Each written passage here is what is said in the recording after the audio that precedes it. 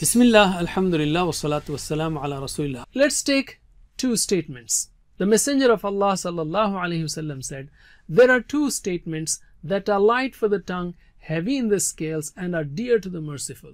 Subhanallah wa bihamdihi, Subhanallah al-Azim. Subhanallah, glory be to Allah, or more precisely, Allah is free from defects and deficiencies.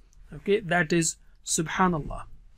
Wa bihamdihi has four words in it. Wa means and, bi means with, hamd means all praise and thanks, bihamdihi and with his praise. He, his, bihamdihi and with his praise.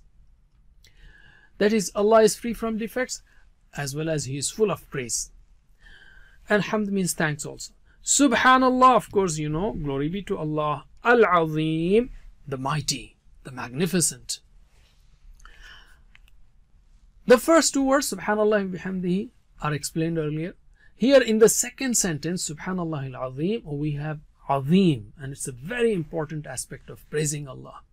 Allah is Azim, that means he, which implies his strength and power in his entity as well as in his attributes. Please visit understandquran.com for our courses on read Al Quran, learn Tajweed, and understand Al Quran, and for one to one learning. Jazakumullah khair. Wassalamu alaikum